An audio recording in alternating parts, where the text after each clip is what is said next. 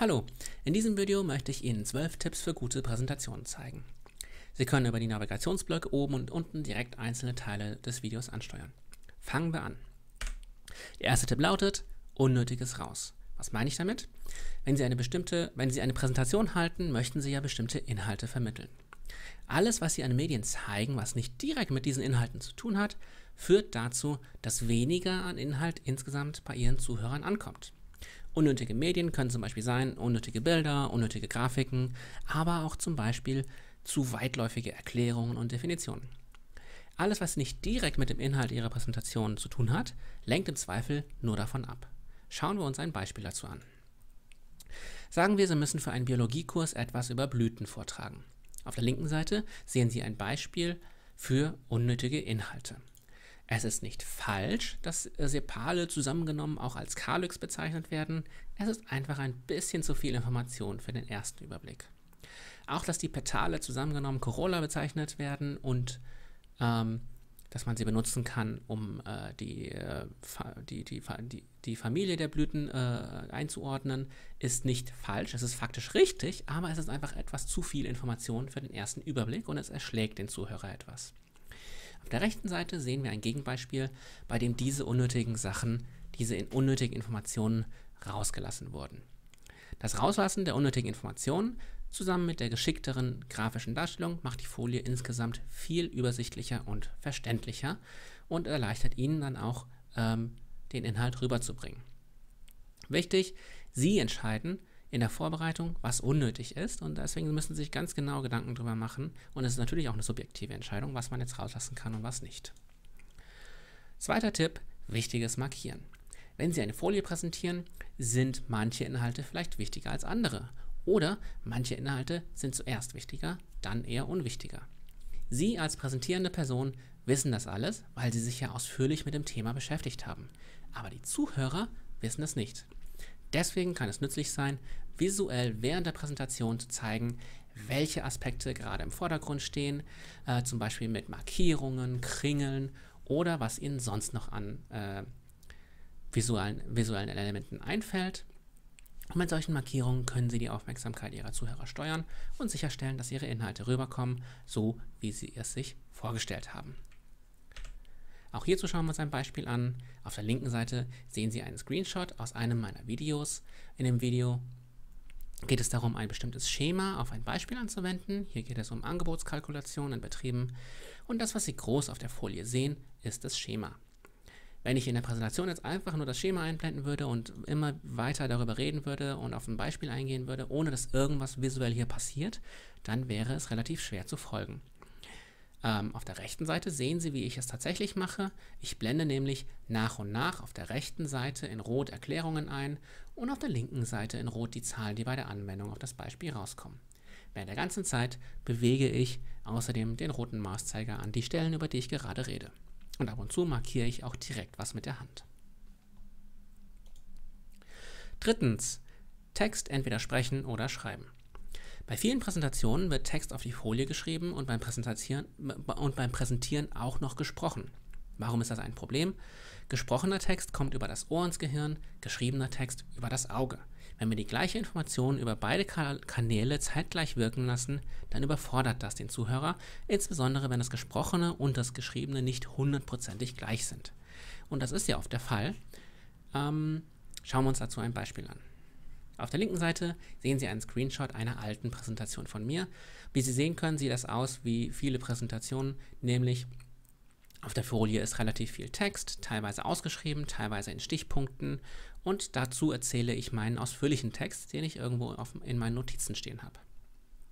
Das Problem dabei ist, dass der Zuhörer instinktiv erstmal versucht, den geschriebenen Text auf der Folie zu lesen und in der Zeit habe ich aber schon angefangen, meinen Text zu erzählen. Also ignorieren Sie entweder meine Stimme, bis Sie alles gelesen haben, oder Sie lassen, aus dem, Sie, lassen sich aus dem Lesen herausreißen, um mir zuzuhören. Beides nicht optimal, um einem Thema äh, aufmerksam folgen zu können. Auf der rechten Seite sehen Sie ein Beispiel für eine neuere meiner Präsentationen. Ich habe hier ein inhaltlich passendes Bild zusammengestellt und lediglich eine Überschrift und fünf Stichpunkte draufgeschrieben.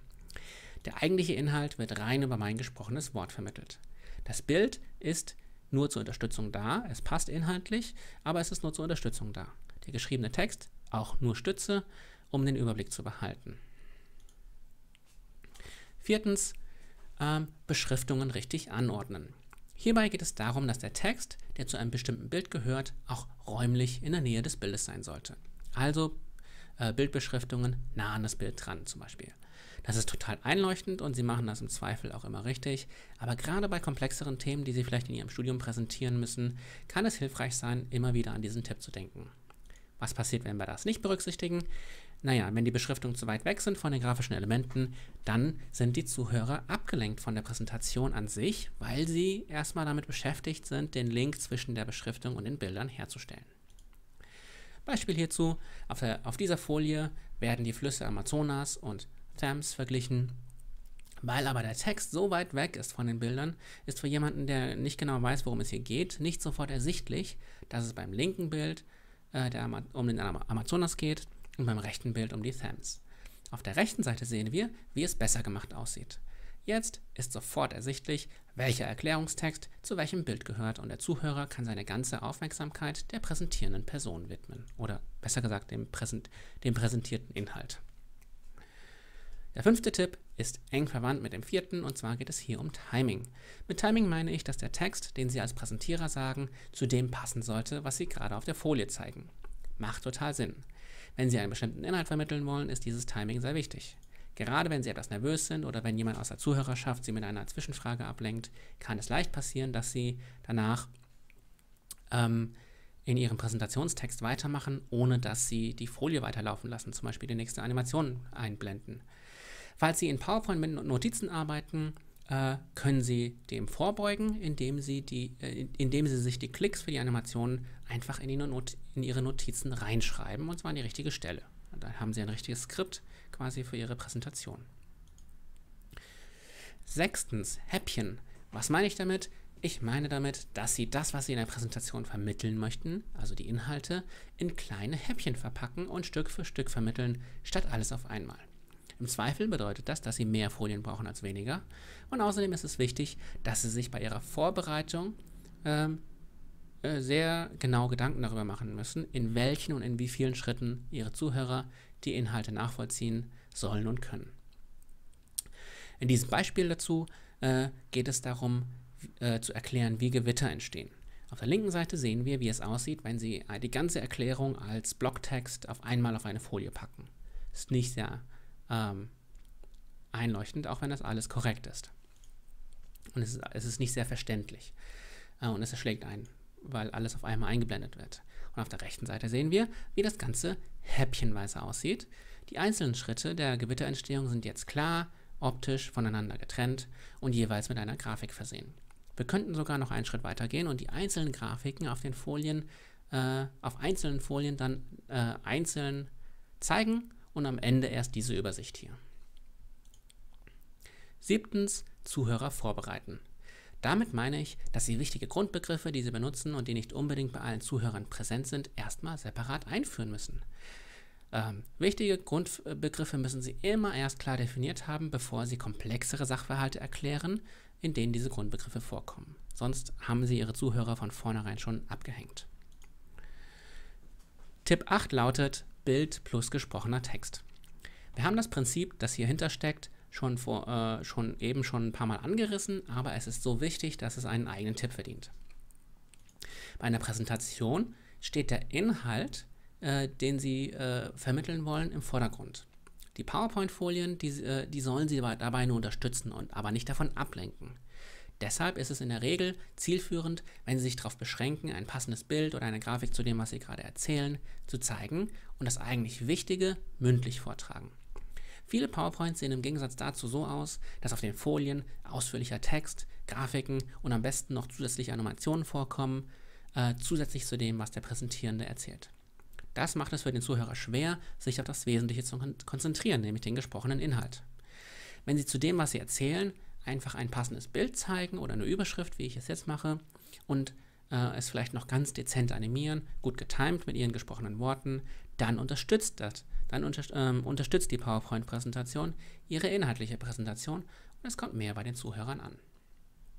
Tipp 9 lautet Bilder müssen passen. Bilder und Grafiken sind super, um ihre inhaltlich gute Präsentation zu unterstützen. Aber sie brauchen deshalb nicht auf jeder Folie ein Bild. Bildelemente können nur dann den Inhalt ihrer Präsentation unterstützen, wenn sie auch tatsächlich dazu passen. Wenn die Bilder gar nicht zum Inhalt der Präsentation passen, dann greift erstmal Tipp 1, Unnötiges raus. Deswegen sind Diagramme und Infografiken sehr gut geeignet für Präsentationen, denn sie enthalten relativ viele Informationen auf, ein, auf einmal, auf die man dann nach und nach eingehen kann. Manchmal ist es gar nicht so einfach, passende Bildelemente zu finden für das, was Sie inhaltlich erzählen möchten. Und damit Sie sich nicht unnötig in einer langen Suche nach passenden Bildern verstricken, sollten Sie deswegen immer erst den Inhalt der Präsentation fertig vorbereiten, bevor Sie nach Bildmaterial suchen. Ein gutes Beispiel für unterstützende Bilder sind zum Beispiel Querschnittsbilder von Organismen oder technischen Geräten. Denken Sie zurück an das Beispiel mit den Blumen, das ich Ihnen gezeigt habe. Ähm, das ist ein sehr gutes Beispiel für ein unterstützendes Bild. Zehntens, angemessene Sprache. Die allermeisten Settings, in denen Sie im Studium oder im Beruf Präsentationen halten, äh, erlauben lockere Sprache. Wenn Sie vor anderen Studierenden, Kollegen, aber auch vor Professoren von mir aus oder Vorgesetzten präsentieren, müssen Sie auch nicht unbedingt in äh, der aller, äh, aller hochgestochenen Sprache formulieren. Überlegen Sie mal, in welchem Sprachstil Sie sich mit Freunden, Kommilitonen und Kollegen unterhalten. Das ist der Stil, in dem Sie natürlich kommunizieren. Und deswegen ist das auch der Stil, mit dem Sie am besten Inhalte an Leute kommunizieren können. Auch wenn Vorgesetzte oder Professoren mitzuhören, ist im Zweifel eine etwas lockerere Sprache effektiver als eine total hochgestochene Sprache. Das ist natürlich keine hundertprozentige Regel. Äh, Sie, sollten sich Sie sollten sich immer vorher genau Gedanken machen, äh, wer im Publikum sitzt und äh, wie locker Sie denn tatsächlich reden dürfen. Außerdem bedeutet, es, äh, bedeutet lockere Sprache nicht gleich schlampige Sprache. Sie müssen sich also trotzdem genau überlegen, wie Sie die Sätze formulieren. Sie müssen einfach nicht äh, wie ein ähm, Adliger dabei klingen. Genau. Elftens, keine Roboterstimme. Viele Leute versuchen in ihren Präsentationen extra deutlich auszusprechen, damit sie auch ja verstanden werden und ihnen niemand vorwerfen kann, sie hätten genuschelt. Wenn Sie aber zu sehr darauf achten, Wörter korrekt auszusprechen, ähnelt Ihre Stimme immer mehr einer Roboterstimme. Inhalte kommen bei Ihren Zuhörern aber viel besser an, wenn Sie mit einer menschlichen Stimme erzählen. Das heißt natürlich nicht, dass Sie super schnell oder genuschelt präsentieren sollten. Man muss sie trotz allem noch verstehen können. Aber Aussprache ist viel weniger wichtig als zum Beispiel Betonung. Wenn Sie ganz bewusst betonen, gibt es Ihrer Erzählung einen Rhythmus und es wird leichter, Ihnen zu folgen. Zur Vorbereitung kann es deswegen sehr hilfreich sein, sich den gesprochenen Text Ihrer Präsentation komplett wörtlich als Skript vorzuschreiben und die Betonungen mit einzufügen, zum Beispiel als Unterstreichungen oder Markierungen. Zwölfter und letzter Tipp. Manchmal einfach unsichtbar sein. Wenn Sie eine Präsentation halten, stehen, steht der Inhalt, den Sie vermitteln wollen, im Vordergrund und die Projektion Ihrer PowerPoint im Hintergrund. So sollte es sein. Schließlich sind die Bilder äh, die äh, die PowerPoint zeigt, ledig, lediglich Unterstützung für das, was sie inhaltlich sagen. Ähm, wichtig ist, dass der Inhalt immer im Vordergrund steht und nicht Sie als Person. Wenn Sie also zum Beispiel eine wichtige Infografik zeigen, gehen Sie ruhig mal zur Seite, sodass alle sich voll auf die Grafik konzentrieren können und ähm, Sie so ein bisschen unsichtbar werden. Ähm, denn der Inhalt steht im Vordergrund, nicht Sie. So, das waren die zwölf Tipps. Noch ein paar Abschlussbemerkungen. Ähm, erstens, wo habe ich das Ganze her? Das habe ich mir nicht selber ausgedacht. Das basiert auf den sogenannten 12 Principles of Multimedia Learning von Richard Meyer aus den USA. Ähm, da geht es nicht ausschließlich um Präsentationen, sondern eher um Multimedia Lernen. Und ich habe das einfach jetzt hier versucht anzuwenden auf den Kontext von Präsentationen, weil da geht es ja auch darum, dass Ihre Zuhörer was lernen. Das bringt mich direkt zum nächsten Punkt. Ähm, Inhalt zuerst. Was heißt das? Naja, all diese Tipps nützen nichts, wenn sie inhaltlich schlecht vorbereitet sind. Ne? Ähm, und da, da, möchte ich mich auch jetzt hier äh, ganz klar äh, absetzen von irgendwelchen Tipps, wie man äh, souverän präsentieren kann, auch wenn man schlecht vorbereitet ist. Das will ich, in, das will ich bestimmt nicht fördern. Ähm, wichtig ist, Ihre Präsentation muss natürlich inhaltlich richtig gut vorbereitet sein, bevor Sie sich Gedanken machen können, wie man die äh, Präsentation dann didaktisch und ähm, von der Präsentationssicht her äh, gut aufbereiten kann. Dritter Punkt, äh, das, ist, das ist hier keine Rezeptlösung, es sind zwölf Punkte, aber ähm, nicht immer lassen sich alle diese zwölf Punkte umsetzen. Ähm, viel hat mit Übung zu tun, viel hat mit Reflexion zu tun ähm, und das ist auf jeden Fall kein Rezept äh, zu einer perfekten Präsentation. So, ähm, das war's auch schon. Wenn Ihnen das Video gefallen hat, geben Sie ein Like. Wenn es Ihnen nicht gefallen hat, geben Sie ein Dislike. Wenn Ihre, wenn Ihre Gefühle komplizierter sind, dann schreiben Sie gerne einen Kommentar. Und das war's.